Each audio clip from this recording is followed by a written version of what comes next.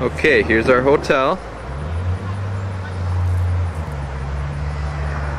And uh, oh yeah, you look out your window in the morning and well, what do you have here but a but a cemetery?